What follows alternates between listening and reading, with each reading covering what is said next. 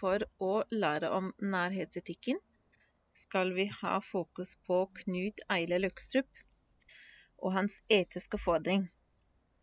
Er det noen kompetansemål som vi dekker med denne delen? Så mål for denne delen av økten er å forstå hva Løkstrup mener med den etiske fordring, og forstå nærhetsetikk generelt, og så kunne anvende det i vårt eget liv og kunne reflektere over det, og å kunne argumentere basert på nærhetsetikken. Løkstrup sin etikk går ut ifra kristen etikk. Det har liksom den i bunnen. Og den eh, baserer seg i veldig stor grad på denne um, delen av Bibelen. Da er det en fra fariseerne, så de um, lovkyndige, de som liksom var sjefen i um, det jødiske samfunnet der, skulle sette ham på prøve og spurte mester, så til Jesus, hvilket bud er det største i loven? Og Jesus svarte, du skal elske Herren din Gud av hele ditt hjerte og av hele din sjel og av all din forstand. Dette er det største og første budet. Men det andre er like stort. Du skal elske de neste som deg selv. På disse to budene hviler hele loven og profetene, sa Jesus ifølge Matteus evangeliet. Og kristne gjennom tidene har ofte diskutert hva det betyr, Um, og de fleste sier nok at det går ut på det at man skal elske Gud, og man skal elske de neste. Da har vi ordet nestekjærlighet. Og du skal elske deg selv. Og at disse tre er like viktige. Men så må vi diskutere hvem er de neste, eller den andre. Og her har nærhetsetikken fokus. Um, så den, de neste er hvert menneske som du møter. Hver gang du møter et menneske, så er det de neste som du skal vise nestekjærlighet mot. Um, og da har du den grunntanken om menneskeverdet. At hvert menneske er uh, verdifullt og skal behandles likt. Um, så i nærhetsetikken snakker man om den andre, og det dreier seg ikke om fysisk nærhet.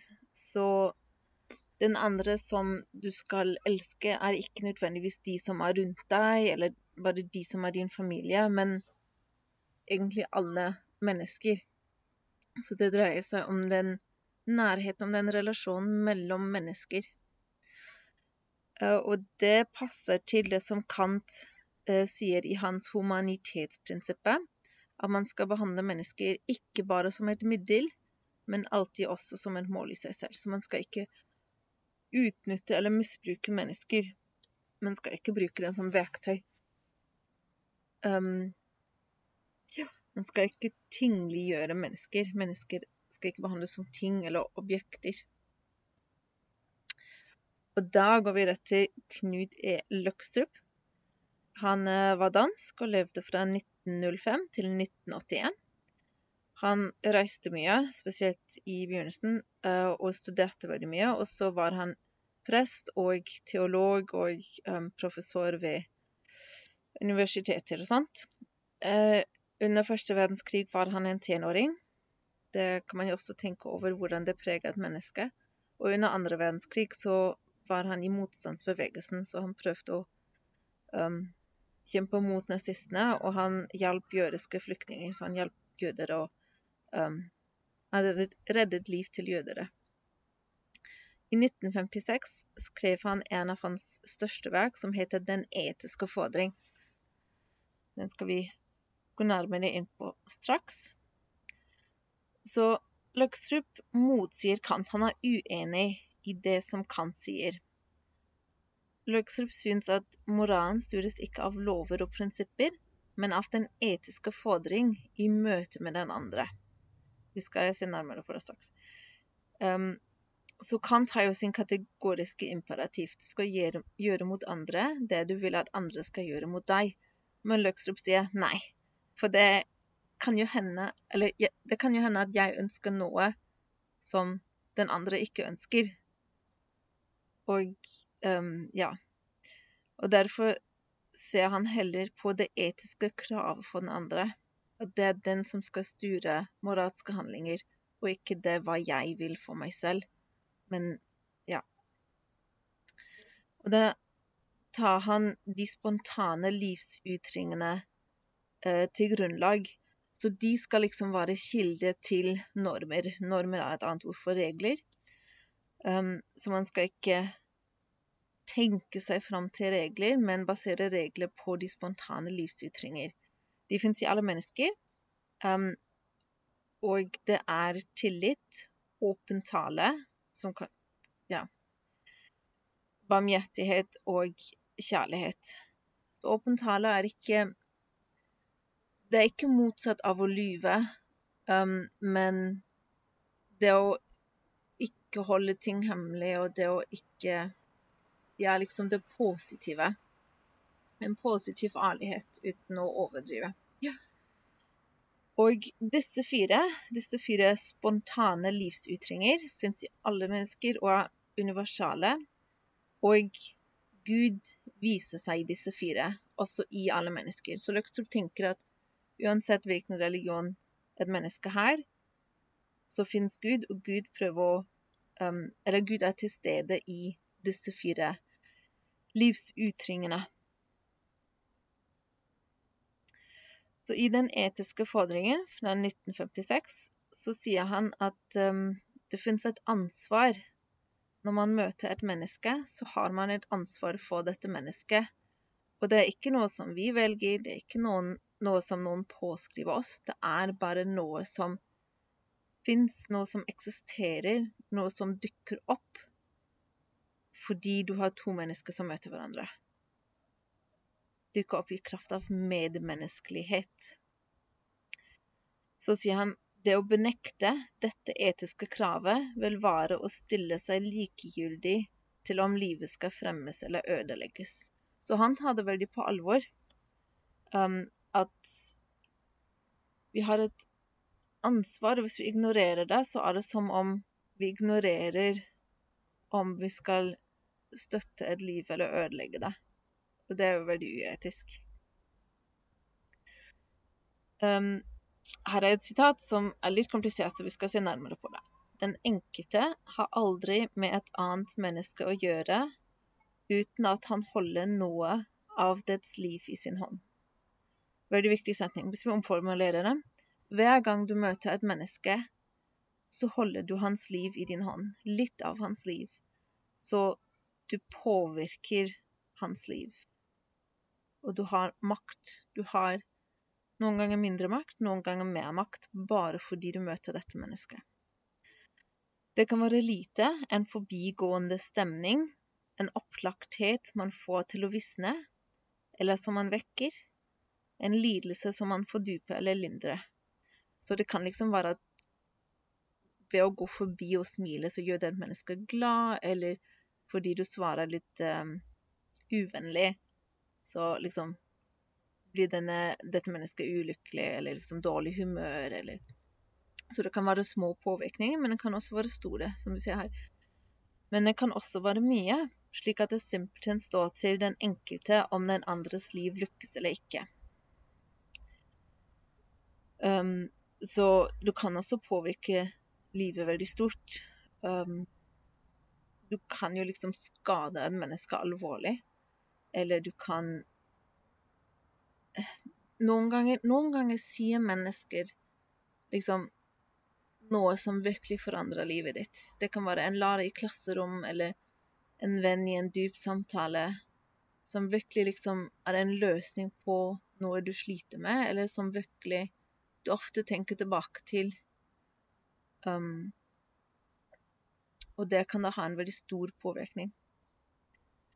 Så jeg sammenfatter det sånn eh, i hvert møte mellom mennesker påvirker du den andre, uansett. Um, om det er mye eller lite, om det er positivt eller negativt, men du gjør det. Du påvirker.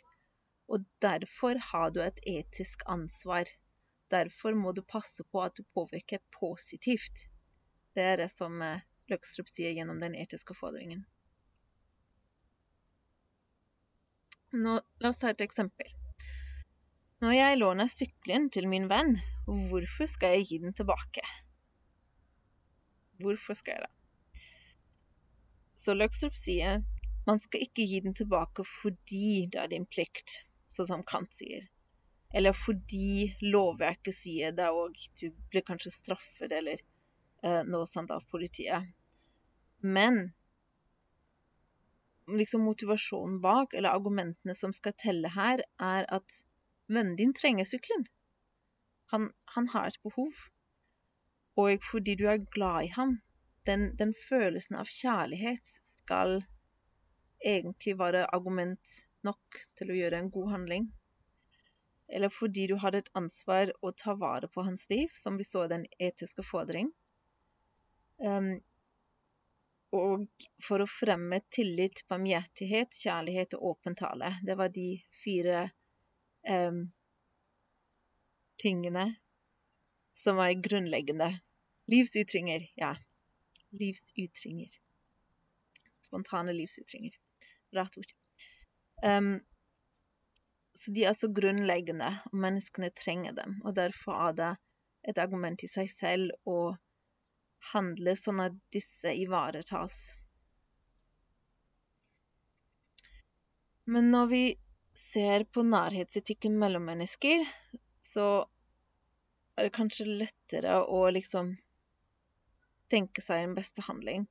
Men når vi tar nærhetsetikken inn i politikk, ehm, støter vi på et stort problem, og det er Nærhetsetikkens bidrag er å påvise og avsløre alle forsøk på avhumanisering og avmoralisering ved hjelp av avstandsskapende mekanismer som anonymisering, kollektivisering, byråkratisering og teknologisering. Uff, mange store ord. Så nærhetsetikken avslører, så de liksom viser at um, at man ikke skal følge plikter fordi man har det som plikt, men man skal ha menneskelige følelser, liksom positive, og se på folk som mennesker og ikke som tall. Og forholde seg til mennesker som om de er mennesker og ikke ting eller tall. Um, og man skal opprettholde moral i politikken, eh, og ikke bare bestemme regler og så følge dem. Um, også det med avstand. Man skal ikke skape så mye avstand i politikken, for det, det, kan, det kan, bli problematisk, som vi straks skal se. Så anonymisering, det er når det mennesket som du um, som du har makt overfor, er anonymt når du ikke vet hvem det er. F.eks. Når, når en saksbehandler vedtar en sak, og kanskje står det et navn, men du vet ikke hvem det er. Da er det anonymt um, i den forstand. Eller kollektivisering. At um, at du fatter regler basert på en gruppe, eller også fordommer mot en gruppe, et kollektiv og ikke lenger se enkeltmennesket. Byråkratisering, at du har liksom søknad og vedtak og ikke ser menneskene som står bak, og ikke ser situasjonen bak. Og teknologisering, tek teknologisering at det er maskiner som vedtar ting og bestemmer ting og behandler ting. Um, la oss se på det med anonymisering det er så lett å skyte på de anonyme andre. Hvis du, hvis du ser et menneske foran deg, eller hvis du til og med kjenner det, er det mye mer vanskelig å skyte på det.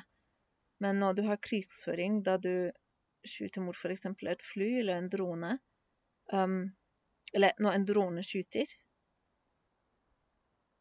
er det mye mer vanskelig å opprettholde moral fordi det er anonymt. Du ser ikke mennesket bak. The best way to become enlightened is to argue with people on Facebook. Jeg hevder det også et eksempel på anonymisering. Når du møter folk på nettet, så ser du kanskje profilbilde eller um, navn, men du vet ikke egentlig hvem det er. Og da er det mye lettere å handle umoralsk, sier da også nærhetsetikken. Byråkratisering. At f.eks. barn som har bodd i Norge i ti år, blir sendt ut av landet. Bare fordi de falt inn for en kategori som Norge bestemte å um, kaste ut av landet. Fordi de valgte å trekke strek på et eller annet sted uten å se menneskene bak. Og når vi hører sånne, uh, sånne stories, så kjenner vi at det er umoralsk. Vi kjenner at det er feil. Og det er noe som Løgstrup legger veldig stor vekt på. Den intuisjonen, den etiske intuisjonen. Når vi kjenner at det er uetisk, så er det sannsynligvis også det. Eller teknologisering. Å mobbe folk på nettet uh, faller også inn i det. Hvorfor er det så lett å være litt slemt på nettet? Viktig spørsmål. Og det har bare eskalert de siste ti år. Det er veldig, veldig alvorlig. Eh, så nærhetsetikken ville da um, sagt at den etiske fordring fortsatt gjelder på nettet, selv hvis du ikke kjenner menneskene. Um, om du skal dele et bilde eller ikke, skal du fortsatt tenke at det er mennesker, og du har et ansvar for dem, selv om de kanskje aldri finner ut av det. Kollektivisering. Det er lettere å mislike noen på grunnlag av, grunnlag av gruppetilhørighet enn det er å mislike enkeltindivider. Eksempel hjemmeløse eller flyktninger. Um, ja, you name it. Masse grupper som folk ofte har fordommer mot og diskrimineres uten å se enkeltmenneskene der. Det, ja, så det kan også føre til umoral. OK, la oss se på en case. Um, den skal du besvare skriftlig. Så du jobber i en butikk. Du oppdager tilfeldigvis at en av dine kollegaer stjeler penger fra kassa. To uker senere observerer du at det samme skjer en gang til. Hun gjør det en gang til. Så nå skal du svare hva gjør du, og viktigst av alt hvorfor. Og så hva ville Løkstrup gjort? Så liksom innenfor Bruke argumenter fra nærhetsetikken hvis han hadde vært i din situasjon, og hvorfor. Og husk at den hvorfor er så viktig. Det er ikke nok å bare ha en mening hvis du um, Ja, du må også kunne begrunne det. Og det er det vi vil trene opp i religionsundervisning. Og liksom ta den meningen du har, og så spørre hvorfor. Hva er dine argumenter bak? Og så hvis vi tenker ut ifra forskjellige etiske modeller, at vi da finner flere argumenter innenfor disse etiske modellene, f.eks. nærhetsetikken. Og det skal du svare på i din um, Word-fil. Her. Her kan du svare. OK, når du har gjort det, så har vi neste case. Eller ikke neste case, casen går videre. Så mens du fortsatt tenker over hva du skal gjøre, eller venter på å ha en god anledning til det, um, så kommer du på jobb igjen, og da blir du kalt inn til sjefen din. Så du kunne, du kunne ikke gjøre noe enda. Du har ikke gjort noen ting. Og sjefen på kontoret, han kjefter på deg, og han sier Lise fortalte meg at du stjal penger i går. Det er kanskje vanlig da du kommer fra, men her i Norge er det ulovlig. Jeg visste at det var en risiko å ansette noen som deg, men jeg hadde ikke forventet at du stjeler så mye, og det rett etter prøvetiden din. Jeg skal sørge for at du blir sendt tilbake til dit du kommer fra. Poiski, poiski. Og der slår det deg, først nå, at du er den eneste med utenlandske foreldre blant de ansatte i butikken. Så jeg håper at dere skjønner at dette her er antirasist... Eh, nei, at det er rasistisk diskriminering og at dette her ikke er greit, hvordan sjefene oppfører seg. Det må vi bare si med en gang. Så må man ikke snakke til folk. Um, men så skal dere argumentere nå. Hva ville Løkstrup gjort nå? Så hvis han hadde vært den som ble anklaget for å stjele og diskriminert av sjefen, hva ville han gjort, og hvorfor? Det skal du også skrive opp.